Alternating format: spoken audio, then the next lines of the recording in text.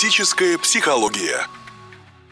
Это программа «Практическая психология». Здравствуйте. В студии семейный психолог Надежда Бушмелева. Сегодня у меня в гостях специальный психолог школы-интерната для детей с ОВЗ Анастасия Мулагалеева. Настя, здравствуйте. Здравствуйте.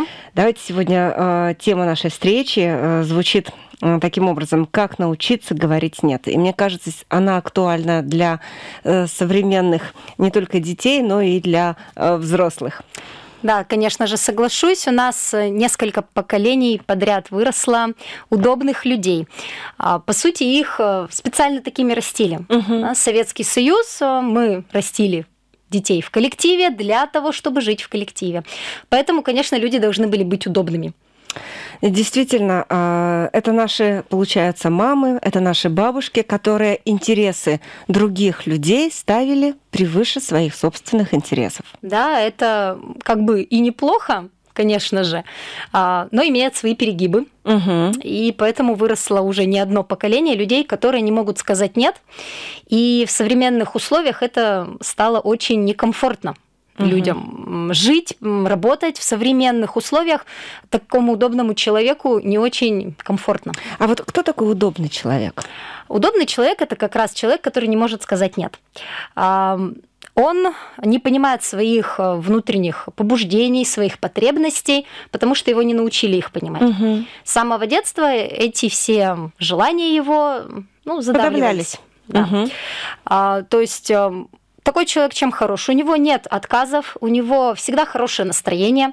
А мы обычно детей требуем, чтобы угу. они всегда были в хорошем настроении. Как ты можешь проявлять те или иные эмоции, да. особенно негативные, да? Так Хотя... себя хорошие и плохие, и э, хорошие мальчики и девочки не ведут. Да. А, хотя даже положительные эмоции все равно дети должны проявлять по расписанию.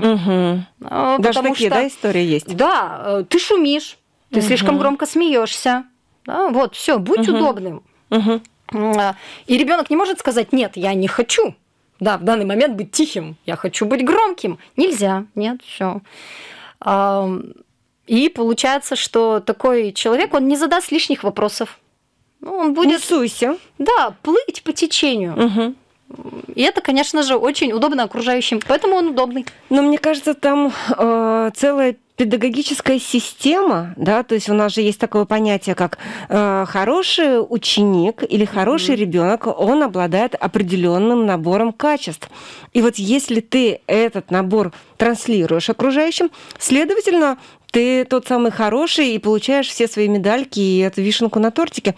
Что же мешает тебе жить? Радуйся, ведь вот бабушки, дедушки также жили, все мамы, тобой папы, довольны. да, и все тобой довольны, и грамоту тебе выпишут, и будут жать руку и, и ездить на твоем хребте. Да. А, читала дочери не так давно э, знаменитый стишок у нас «Что такое хорошо, что угу. такое плохо?» И там вот фразы, на которых мне начинает становиться неловко да, угу. со своими знаниями о том, Психология. что этот мальчик, да, угу. он плохой. Угу. И я сразу «Это он сделал плохо, мальчик нормальный». Угу. И дальше читаю угу. стишок. Угу. Потому что у нас так и идет, а, что если ты что-то сделал плохое, ты плохой. Угу. Все не разделяют поступки а от личности. Да, и получается, что ребенок на себя этот ярлычок повесил, он с ним потихоньку смирился, угу. и потом уже, а чего вы от меня хотите? Я плохой. Угу, угу. А с этим, да, надо быть очень аккуратным. Ну вот смотрите, это вот э, мы с вами знаем как бы базу, основу психологии, и мы уже понимаем, да, где, где э, что нужно разделять. Но ведь э, практически э, родители современные, они э, не читают этих психологических книг, да, учебников. И вот как вот здесь э, вкладывать какие вот прямо правила, да, которые э, должен для себя вот таким э, ответственный родитель какие-то маркеры такие принимать. Угу. Ну, вообще, в целом, у ребенка до пяти лет критичного мышления нет, угу. поэтому все, что ему транслируют родители, у него откладывается, ну, как можно угу. сказать, на корочке, это его будущая программа. А, и программа формирует ребенка, что у него нет своих потребностей. Угу. То есть А- э, его не спрашивают, голоден ли ты сейчас, да, а говорят, так, все, время пришло ужинать, идем все кушать. Мгм. Режим, да, это Мгм. советская у нас вещь. Режим хорошая штука, а, но он должен быть гибким. М, а, Вот анекдот в тему. А, Мама зовет мальчика из окна, там, Васечка, пойдем домой. Он поднимает голову и спрашивает, мама, а я замерз или хочу кушать? Вот это классика. Ну, Дети не особо задумываются вообще, что они в данный момент хотят. Мгм. Поэтому если родителям идти от противного, то есть спрашиваем ребенка. Мгм, Да. мгм, Отлично. А, Это не значит, что мы сейчас вокруг него пляшем. Да, но в холодильнике, если есть два варианта гарнира, то мы спрашиваем, какой гарнир ты сейчас будешь есть. Хотя бы. Какую кофту, да, ты сейчас будешь надевать, красную и зеленую. Мгм, мгм. Как бы у нас не то, что он зимой пошел в купальнике. Мгм. да, говори- даже если он это озвучил, я тебя поняла, купальник, ну если хочешь, надевай под футболку. Мгм. Надо, иди. Как бы мы не против. Мгм. А, таким вот образом. А, Ну и проблема тут в том, что у таких детей, у удобных, у них нет своей жизни. Они живут чужими жизнями. Мгм. И это становятся люди такие невидимки. На них начинают все ездить, и их перестают воспринимать как личность. Ага. Проблема в том, что такого человека даже уже потом не пустят, ну, ему не разрешат, не позволят свое мнение высказать. Высказать. Потому что ты, извини меня, там 15 лет молчал. Да. Опять-таки, А из, из, вдруг? из, из- из, э, разряда анекдотов, да, у нас сегодня такая ан- анекдотическая программа, когда ребенок э, молчит, и родители переживают о том, что он долго не говорил, да, не Да, говорит. с кашей. Да, с кашей. А тут он сказал, «Ну, каша без сахара. Они говорят, так ты умеешь говорить? Он говорит, да. Ну, вот. Всегда каша была Ну, да, с сахаром, сахаром. а тут вот не с сахаром. Отлично. Значит, э, это дети э, вырастают. Ну, Кстати, ведь тоже такая ин- интересная история. Получается, что иногда отец с матерью сами были очень удобными, и Мгм. они транслируют вот эту форму поведения, они э, подстраивают ребенка под эту форму поведения, и они ведь могут даже сказать, а что, а что странного?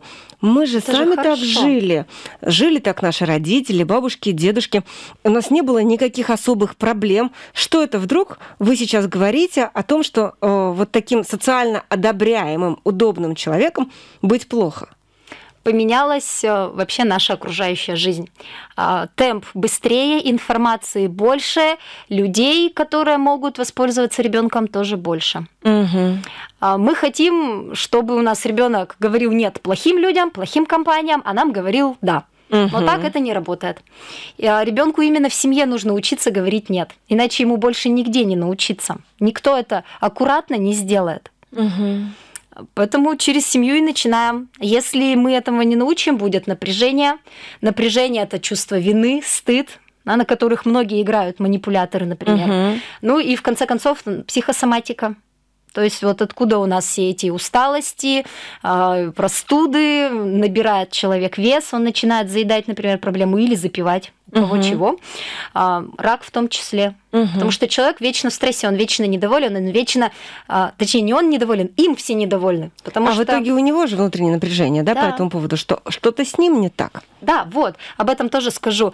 А, то есть эм, им недовольны, хотя он всем вроде бы говорит, Старался да, угодить. я на все согласен, я все сделаю. Проблема в том, что с него просят-то все люди. Мгм. Но это физически невозможно всем угодить. Да? Ты не 5 Невозможно рублей, быть чтобы для всех всем нравиться. хорошим. Да. Да. И получается, что ты согласился в 5 вечера быть и у родителей огород копать, и с друзьями сходить, и собачку вывести. И все. Все равно будет недовольный человек. Кто-то будет, да, и выскажет, что ты какая-то редиска. Да, а удобный человек будет переживать по этому поводу. Мгм. Потому Это что как он... человек в футляре. Да, Да, я тоже об этом думала. у Чехова. Действительно, яркий такой пример. Мгм.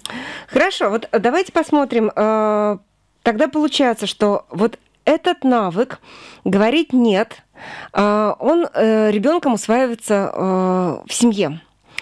И если взрослые сами не умеют это делать, то тогда кто им будет это транслировать? А транслируют э, ну, окружающее, если повезет. Да, Мгм. это может быть какой-то будет учитель, это может быть будет друг, более Мгм. бойкий, более такой пробивного характера, но не факт. Скорее всего, ребенок без умения говорить нет, его утянет плохая компания, угу. потому что именно там будут сильные, яркие личности, угу. которые его подомнут под себя. И если у человека, вот у удобного человека, у него нет своих целей, нет своего пути. Если нет пути, тебя поставят на чей-то другой путь. Угу. То есть вот это прям огромный минус, да, э, вот этих детей, которые угу. действительно удобны. Еще тоже большой и достаточно страшный минус в современных условиях. Такие дети не умеют говорить нет взрослым в первую угу. очередь. А взрослые не все хорошие. Да. И э, взрослые, которые хотят что-то добиться от ребенка, они этого добьются, потому что он не может им отказать. И даже если он знает, что это плохо, он сказал нет, а ему говорят, так нет, давай, давай, мы сделаем, мы пойдем, все нормально, и он не будет настаивать на своем. Я правильно понимаю, что вообще умение говорить нет это про личные границы, да. которые мы как родители обязаны научить ребенка чувствовать и отстаивать. И вот сейчас мы давайте перейдем к такой как раз вот теме, а, как ребенок начинает понимать свои собственные границы. В каких вот этой ситуациях происходит? Не во всех семьях вообще есть понятие личная граница. Угу. Да, что у нас семья общая, раз уж мы по анекдотам тоже вспомнила. Угу. А, муж, где там мой стул, где моя чашка? Жена ему, у нас все общее. Хорошо, где наши трусы? Есть понятие общее в семье, есть вещи, которые они личные. С самого маленького возраста, вот, да, ребенок начинает ходить, познавать дом, мы ему объясняем, да, вот это лично мамина сумочка. Ты, если тебе надо, ты неси маме там, да, или зови маму за руку, веди. Что есть личное полотенце, тоже не у всех, да, ну, для рук общее, а для лица бы уже личное телефон личный. А, причем дети, если это делать последовательно, очень хорошо это усваивают. Да, моментально. это правила, которые они принимают изначально. А, забавная ситуация из жизни. С племянницей была маленькая, она ей не давали мамин телефон. Угу. Сложный такой агрегат, ребенок может повредить. Она это приняла, ей, конечно, было не очень радостно от этого, но приняла. А, и в какой-то момент пришел у меня муж, э, нужно было посмотреть этот телефон и поправить там что-то в программах. Он его берет, и племянница в слезы. Мамин телефон, мамин телефон, uh-huh, да, uh-huh. то есть вот ей-то нельзя, а он взял. Uh-huh, как так-то? Uh-huh. Нарушили все правила? Да, он нарушил границы мамы. Uh-huh. Поэтому действительно границы это в первую очередь территориальные. А у ребенка должна быть своя комната, если нет комнаты, своя полочка, свой маленький уголочек, угу. в котором он главный. Главный, да. Но это не значит, что если да, он главный, то у него там плесень растет. Угу. Все-таки у нас есть еще правила дома, которых мы придерживаемся. Угу. Хорошо бы эти правила озвучить, в идеале их повесить куда-то.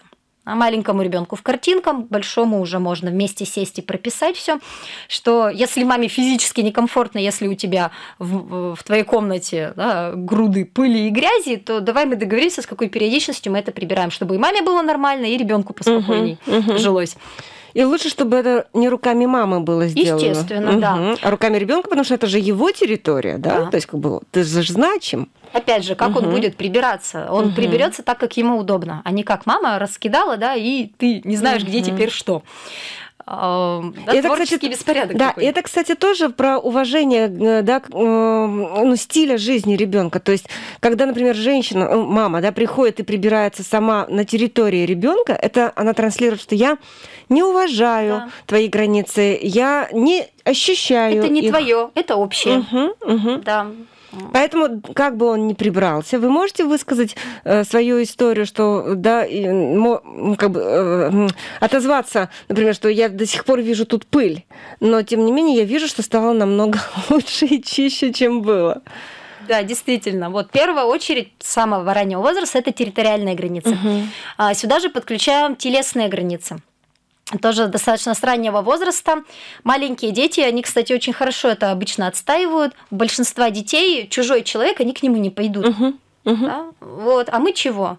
Так это же там твоя четырехюродная бабушка, давай мы ее поцелуем. Угу. Чужая тетенька. Угу. Я не Впервые хочу ее целовать. Угу. А я даже своих-то близких не всегда хочу, да? угу. не под настроение. Поэтому вот не хочет ребенок, он имеет на это право. Угу. А, и еще классический пример – это делиться Игрушками. лопатками, Мгм. да, там в песочнице. А, На два лагеря делятся родители, которые отдай все. Мгм, мгм. Нам ничего не жалко. прямо. А, Неплохой такой вариант, когда, ну, поменяйся. Мгм. Ну, и совсем ты малое количество родителей, на них обычно смотрят как на прокаженных. Это его игрушечка, он не хочет его давать. Мгм. Как такое Культурный шок? Мгм. у родителей. Мгм. Все. Чему вы учите детей? Чего мы учите, да. Вот. Мгм. Но мы с вами знаем, да, что на самом деле ребенок, если это его игрушка, он имеет право ее никому не дать. Если вы боитесь, что вы вырастете эгоиста, то мы просто сразу же проговариваем.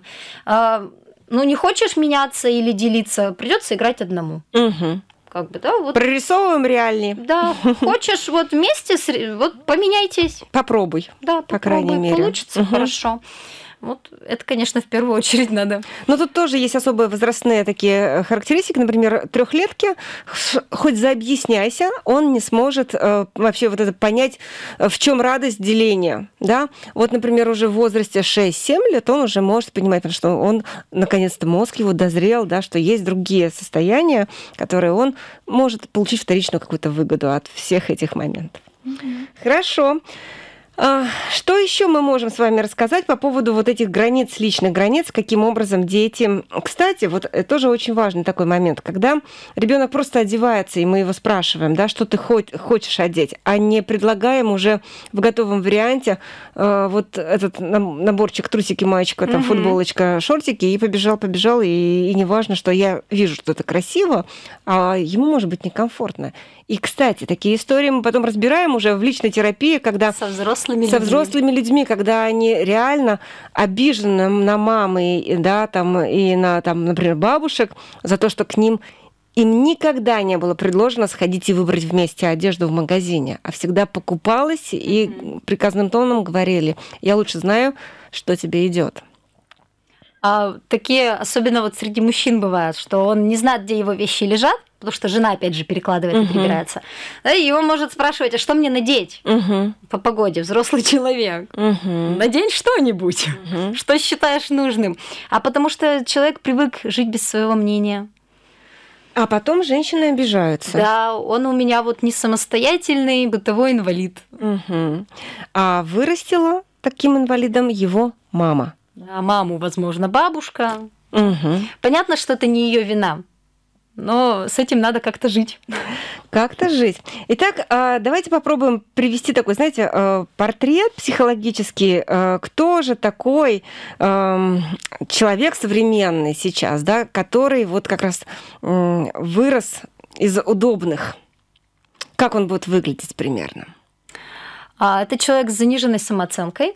То есть э, он старается быть незаметным, достаточно тихим. А, Может быть, он даже и обладает какими-то талантами. Скорее всего, он обладает ими. Но он их показывает только тогда, когда вот нужно когда спросили. ага. То есть это человек, который работает да, по щелчку, по режиму, вот тогда, когда нужно. М, Это человек, который, скорее всего, был в школе подавлен одноклассниками запросто, потому что буллинг это вот э, прямо прямая связь человека, удобными. который да, не умеет ска- сказать нет. М, В худшем варианте это прямо неудачник. Так. Вот. Так такие варианты, да, встречаются в жизни. И хотя вот даже когда спрашивают, например, да, и родитель даже приходит и говорят, что, вы знаете, он всегда был очень спокойным, или она была такая там прям, да, такая Мгм. прилежная девочка, и вот не понимаем, почему до сих пор не сложилась там личная жизнь, почему до сих пор там э, не сложилась карьера, хотя ведь вроде вот мы все сделали для того, чтобы она спокойно шла по жизни. А ребенок, выросший уже во взрослого вот этого инфантила, да, э, не знающего себя, он что получается? Он э, не знает вообще, что он из себя представляет. Что хочу? Да, Мгм. вот у него не работает хочу. А Куда пойти? Он ждет опять же этих ответов от окружающих. Что кто-то подскажет, что кто-то укажет, да? Да. что кто-то скажет, вот там твое счастье, иди за левым поворотом, там, да, и так Такие далее. люди могут поддаваться э, под э, различных шарлатанов, на которое вот ты мне заплати 12 тысяч, я тебе распишу весь твой путь. Мгм. Да, на картах брошу, там в шарике посмотрю. Мгм. Ну, кстати, да, и, пожалуй, вот именно такие люди, да, это частые клиенты вот всевозможных эзотериков. Потому что, ну вот там мне сказали, что будет счастье, я сейчас посижу тут и подожду, что когда оно Да. случится. Можно подумать, что это люди еще, которые к психологам любят ходить. Но Так. не обязательно, потому что психолог э, переложит ответственность на тебя. Мгм. Это такой, в смысле я? Я пришел, заплатил денежку, ты мне скажи, как мне жить-то дальше, по Мгм, пунктам. мгм. А тебе не скажут.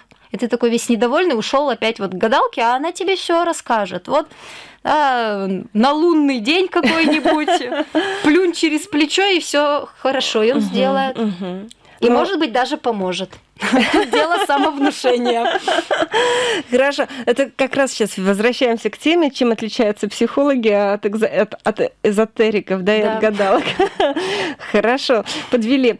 Ну что, э, давайте попробуем, э, что же, чем же рискует у нас такой человек э, в своей жизни, если он понимает, что бабушки, дедушки прожили, и все было неплохо, мама, папа тоже, то что здесь в нашем время, в 21 веке, что может пой- пойти не так? Он рискует не успеть. Очень Мгм. быстро живем, очень ярко и единолично в некоторой степени, а, что шокирует, конечно, прошлое поколение, но мир изменился.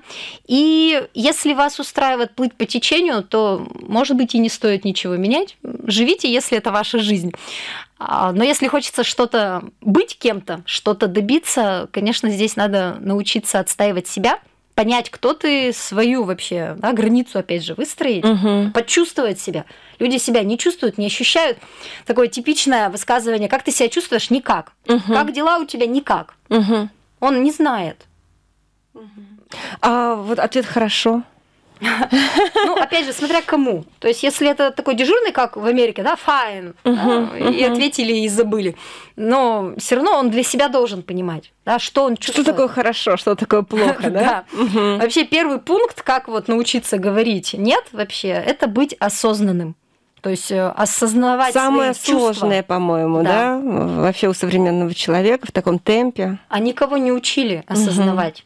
Да, опять же, с детства. И мама знает, Как лучше? как лучше. Учителя знают, Потом как учителя, надо. как Мгм. надо. Потом директор, да, начальник, он тебе все рассказал. Кстати, вот именно такие люди чаще всего работают в найме, и они практически никогда не пойдут э, работать на себя в бизнес. Ну, конечно, это страшно. Мгм. Это риск, это надо говорить, кому-то нет. Да. А тут за тебя сказали нет. Это удобно. Да. Кто-то может выйти замуж э, по такому принципу, Легко. чтобы не принимать решения. Настя, скажите, пожалуйста, а вот, вот хорошо, ваш ребенок говорит нет, и вдруг возникает вот это состояние, как ты вообще можешь мне сейчас там идти в противовес? Очень тяжело родителям принять а, мнение ребенка. Особенно если он воспитывался удобным ребенком. Я удобный ребенок, Мгм. очень э, долго и очень сильно удобный. А у меня появился ребенок холерик со Мгм. своим мнением. Ей было еще двух лет не было. Она решила, что она будет неделю ходить в желтом цвете. Мгм. Она в нем ходила. А, Она час одевалась с утра. Ну, мы в декрете, мы не торопимся.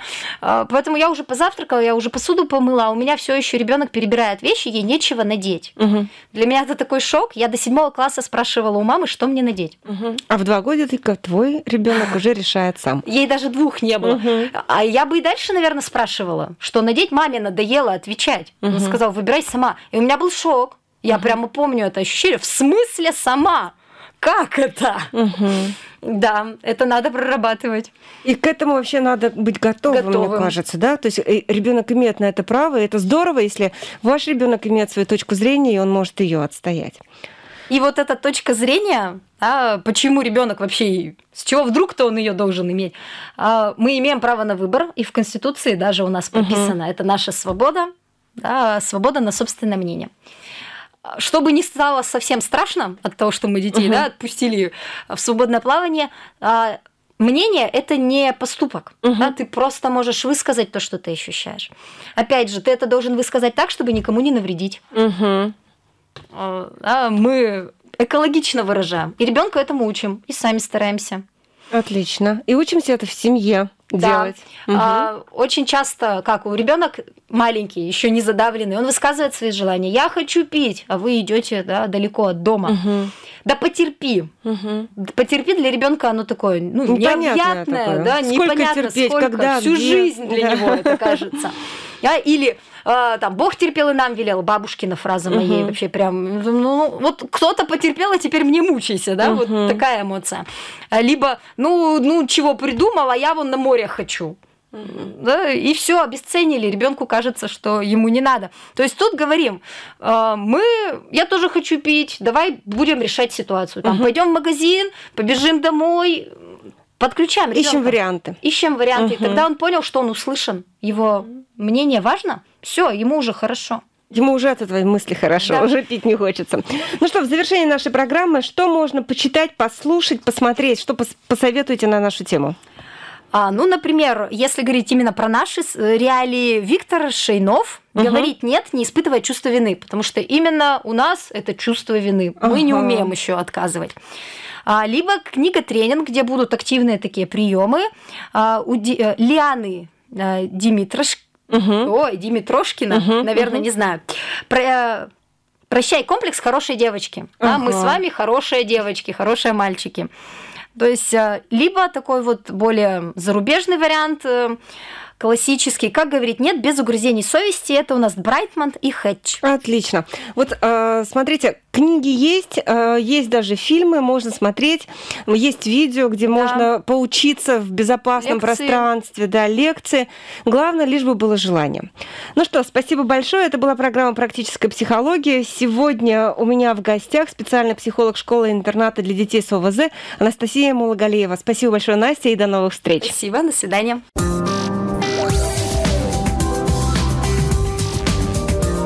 Практическая психология.